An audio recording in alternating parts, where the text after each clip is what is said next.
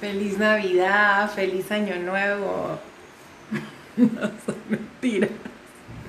Shavua Tov. Significa buena semana.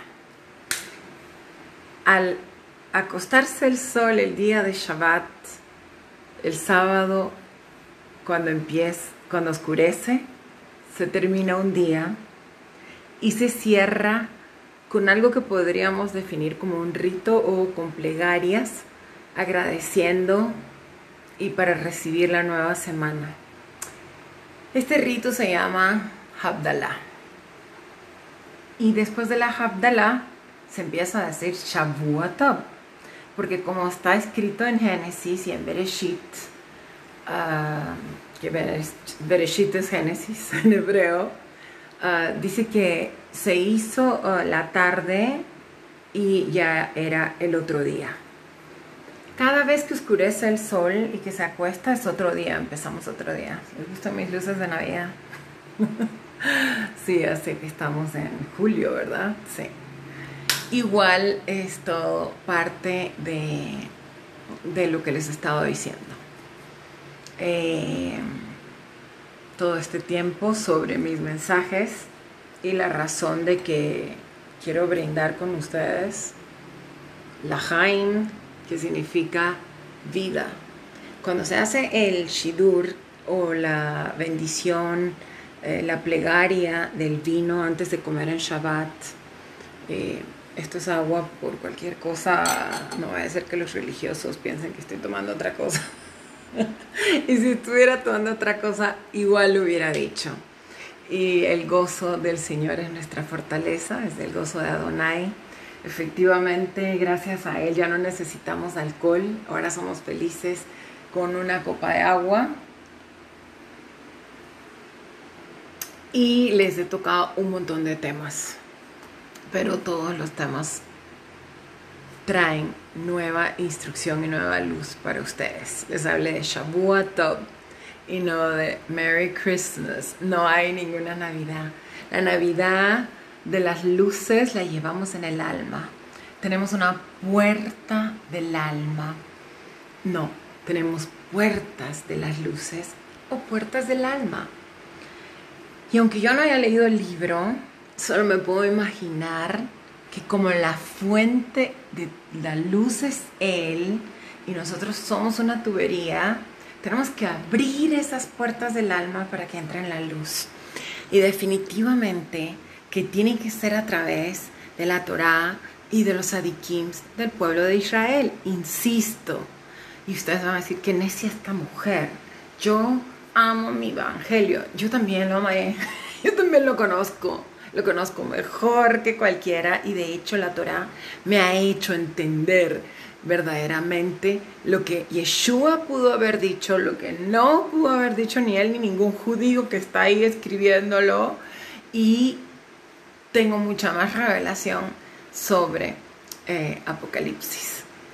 Eh, quiero comentarles algo sobre Oseas 4.6. Hace muchos años las personas que me conocen y que Adonai me dijo, An apple a day keeps a doctor away, a chapter of the Bible keeps the devil away. ¿Ok? Voy a traducir en español. Una uh, manzana al día mantiene al doctor alejado y un capítulo de la Biblia mantiene al diablo alejado. Ok. Uh, probablemente me dijo el Hasatán, porque ese es el término el diablo viene de diablos, ya lo he dicho otras veces, y no es un concepto real de la Torah. No es como se transfiguró y se transformó eh, más adelante eh, con la influencia grecorromana, que de hecho ya tenían un diabolos, ¿verdad? Un ser malo, maligno, el mal que tenemos internamente, que es el Yetzirah, que es la inclinación al mal.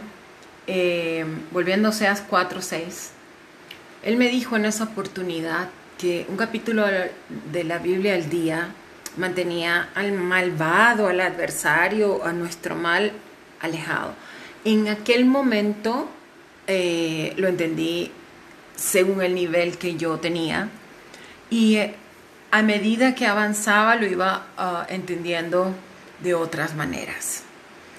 Y hoy por hoy lo comprendo mejor porque sé que la Biblia no, la Torah, la Tanaj, que está compuesta por T de Torah, la A es solo fonética, N de Nevim, que son los profetas, y K de Ketivim, que son los escritos. Esta Tanaj, todos los libros sagrados del judaísmo, eh, ¿qué era lo que les quería decir? Ajá, son contextuales ¿Qué quiere decir contextuales? Que solo se pueden entender bajo el contexto de lo que se está diciendo en el texto y dentro del método de Pardes tenemos que conocer la demografía, la historia, la palabra, hasta la más mínima letra. Entonces ahora entiendo por qué Hakadosh Baruj cuando yo era una pequeña recién nacida en el espíritu, me decía un capítulo de Biblia. Nunca me dijo un versículo. Extrae retazos y pégalos por aquí, pégalos por allá, utilízalos. Y siempre tuve temor, siempre tuve temor de él, de querer enseñar las escrituras y mucho menos cobrar por ellas.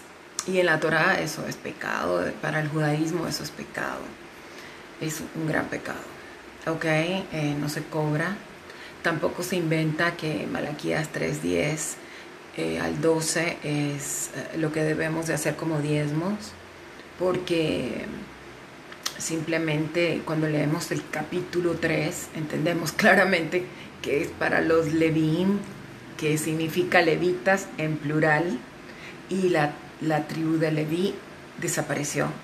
Siglos de siglos, de siglos, de siglos. Y el Beit HaMikdash, que es el templo de Jerusalén, fue destruido tal cual Yeshua lo profetizó.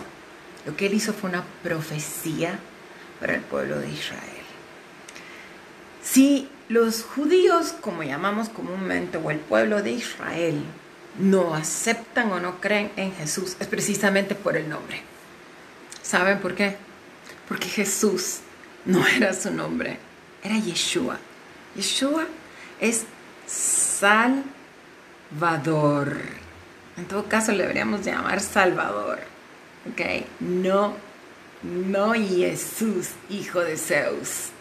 Por eso es que los judíos, para empezar, no lo reconocen. Lo demás, en términos de Mesías, etcétera, es algo que yo tampoco quiero tocar, tampoco quiero hablar al respecto eh, yo, gracias a Yeshua, el maestro de Galilea, estoy aquí. Y era judío. Y para mí, por él, sigo aquí. Y es una lástima y una tristeza que las personas que dicen creer en Él se hayan apartado de Él.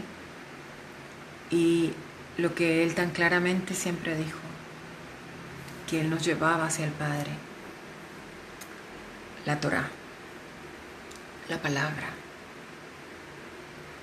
Así que yo los invito a reflexionar mucho sobre Oseas 4.6, que dice, mi pueblo perece por falta de instrucción. Torah no significa ley, significa instrucciones. Y todas las versiones que podamos ver, unas dicen conocimiento, sabiduría, ah, otras dicen eh, mi pueblo perece porque no me conocen a mí. Todas llevan a lo mismo. Porque Él es sabiduría, porque Él es el conocimiento, porque Él es el intelecto, porque Él es el único que nos puede dar entendimiento, porque Él es su Torah, Él es quien nos dio instrucciones. Por amor a Él, por amor a Él, busquen, sigan buscando y sigan creciendo.